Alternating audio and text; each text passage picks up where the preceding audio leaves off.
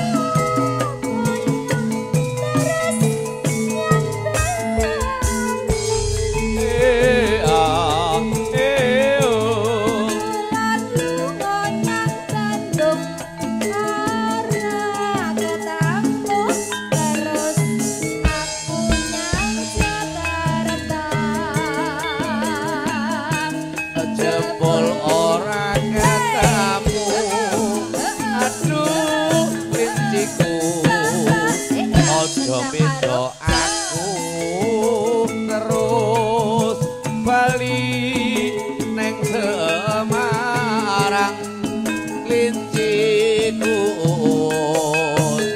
ono kandang hae hae hae Jos.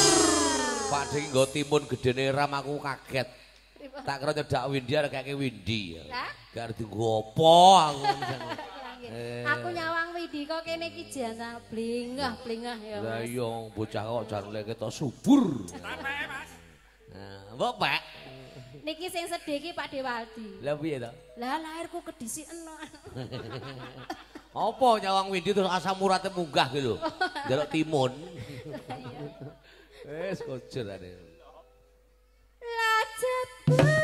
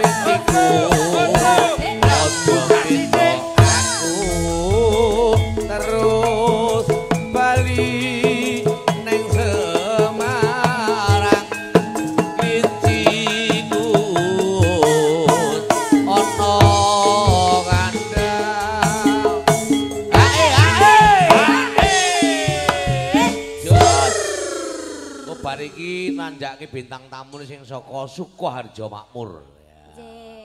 Dek Windy Blengahwati. Jenenge wis ganti to? Ganti. Lah ndek mbek Dek Widi Penawati. Ini dan- ganti gandeng rada lemu blengahwati genting ngono. Wong kok ayune kaya ngono ya, Mas? Lah iya to, jane kuwi ya wedok yo ayu lho. Ning kok jek kalah ayu karo si Windy. Lah iya. Adekno aku ki tak lemokke kok ora iso. Jane aku pengen gedhi ngono ki lho. Nggonmu kuwi kalah gedhe kok Dek. Ani ngene Windy ki siji nggonmu kuwi papat ta, Dik. Kalah ukuran ya, Mas. Iya. Lo jebulane lucak-lucu